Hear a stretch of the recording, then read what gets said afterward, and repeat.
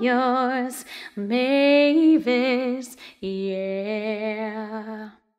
One happy birthday dot com.